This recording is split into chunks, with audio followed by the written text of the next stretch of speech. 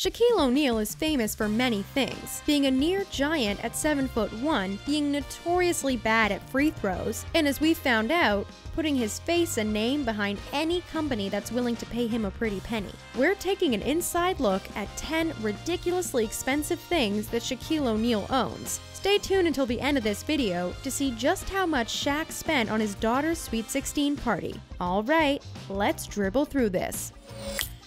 There's no denying that Shaquille O'Neal is a legend. He was drafted into the NBA in 1992, at the time to play for the Orlando Magic. His most recognizable NBA team, however, was the Los Angeles Lakers, which he joined in 1996.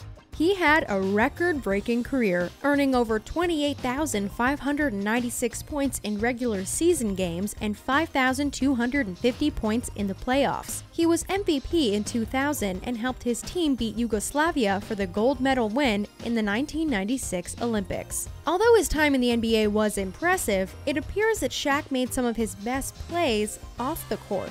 In an interview with HBO, Shaq divulged that he has made more money off of advertisements and endorsements than he ever did playing in the NBA. According to Shaq himself, he made $30 million in his best year as a player, which, according to Basketball Reference, amassed him a whopping 292 million during his career. And now, Thanks to his numerous business ventures and investments, the diesel is worth over $400 million.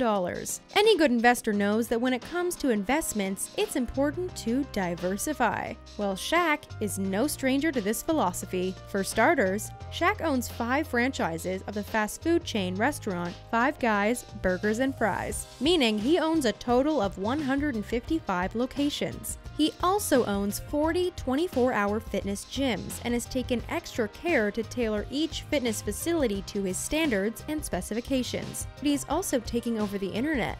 Well, sort of. Although we're not sure how he got in as a Google investor before the company went public, he did exactly that. This was definitely a smart business decision. Before Google went public in 2004, the company's stock traded at $85 per share. As of 2019, one share of Google stock stands at $1,165.93. His other food related ventures include Fruity Pebbles, Muscle Milk, and Vitamin Water. His investments basically sound like a late night run to the supermarket. And in the miscellaneous category, Shaq has put his money into 150 car washes, condo development and real estate, and multiple tech startups across the country. Are you writing all of this down? Because it's a lot. Have you ever heard the saying, more money than you know what to do with? That's probably exactly how Shaq felt in 1992 when at 20 years old, he signed a massive endorsement deal with a trading card company, earning him his first cool $1 million. After hearing from his agent that the deal had closed, he felt pretty good about himself, wouldn't you? The unfortunate part of the story is that Shaq failed to consider his agent's 15% Texas state tax and the federal property taxes. Shaq, a longtime Mercedes lover, went right to the dealership to buy himself a brand new $150,000 car. When he went home to show his father what he'd bought, his father replied, quote, That's nice, where's mine at? Unquote, prompting him to buy the same $150,000 Mercedes for his dad. If you're keeping up with the math, Shaq had already spent more than half of what he earned at this point when his mother, after having seen the fancy cars, decided she also wanted one in a smaller make. So Shaquille dropped another 100,000 on his mom. Then, presumably off a shopping high, he went out and bought rings and jewelry to do what millionaires do. After it was all said and done, Shaq had spent $1 million that day. That's also the day he decided to get a business manager to make sure he never made the same mistake again, and to put him on track to being a heavy hitter in the world of finance and investments. His love of cars definitely didn't end there. Shaq has a massive collection of vehicles. Before we give you the deets on Shaq's collection, here's a figure that will make your head spin.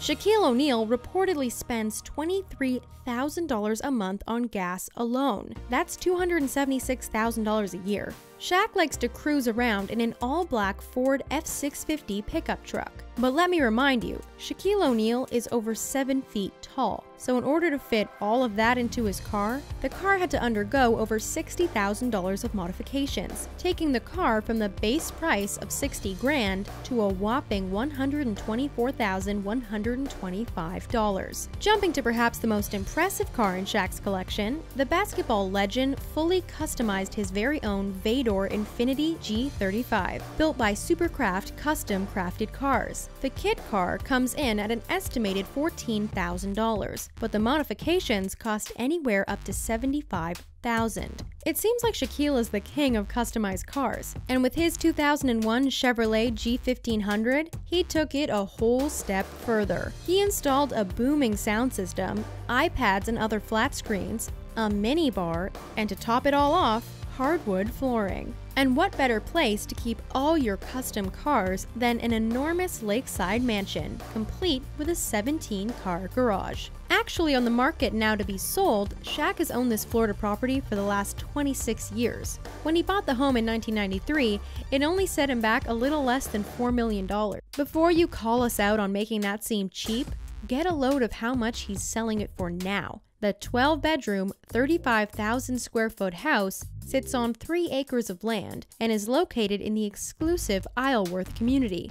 As you might expect from the most famous NBA player of all time, there's a 6,000 square foot indoor basketball court with the words Shaq Center printed on the floor. There's also a showroom full of memorabilia from his time in the NBA. What does a place like this go for, you ask? Well, $22 million. Located in beautiful Bell Canyon, California, a slightly more modest mansion sits perched atop the hillside. Featuring five bedrooms and four and a half baths, the property boasts glossy, snow white porcelain tile floors the spacious property didn't set him back too far though, only 1.815 million to be exact. You've probably gone to do some quick shopping at Walmart, but in all their years of operation, the largest amount of money anyone ever spent on a single purchase was spent by none other than the Diesel himself. Shaquille O'Neal once spent $70,000 at Walmart in a single visit. After being traded from the Miami Heat to the Phoenix Suns back in 2008, Shaq was getting impatient with his brand new apartment because it was yet to be filled with any furniture or toiletries, so he did what so many other Americans do when they need to buy something. He headed to Walmart.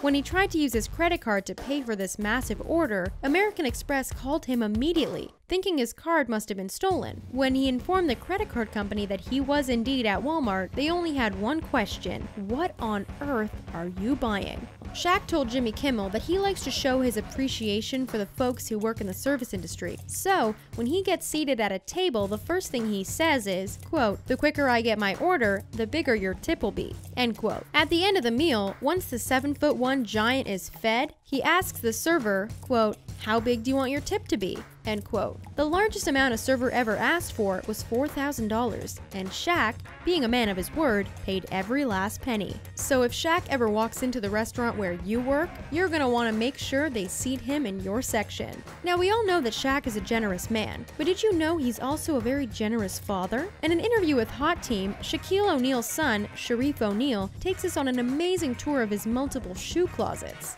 Shareef has full floor-to-ceiling shelves packed with expensive sneakers that he wears both on and off the court. One of his favorite pairs from the collection are Nike's Kobe 11 Peach Jams, a shoe with a sweet peach colorway and a $675 price tag. His collection also features three pairs of Jordan Red Ones, a $235 classic shoe, one of which he did little doodles all over. Can you imagine spending $235 on a pair of shoes and then disgracing them with a black Sharpie? A couple of his cheaper shoes include custom Suicide Squad Kyries, lots of Jordans, what the Kobe 8s and OVO 10s. Okay, we're not going to go on and list every single pair of expensive sneakers that Shareef owns. You get the the point. He's got a lot. But when you play basketball as often and as intensely as he does, you need tons of backups for your favorite shoes. We will, however, spotlight one pair from his collection because of its very impressive price tag.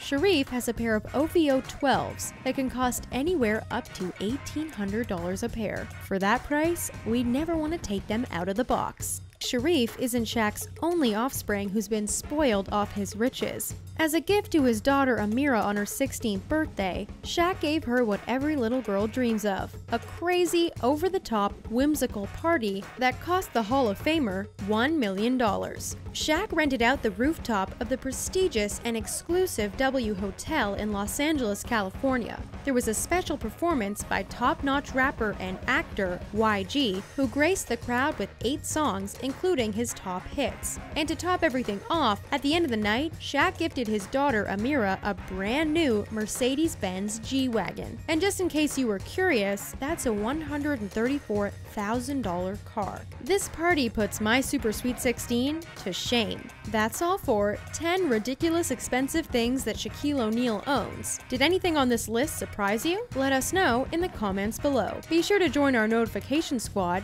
subscribe to our channel, and like this video. Thanks for watching, and we'll see you next time.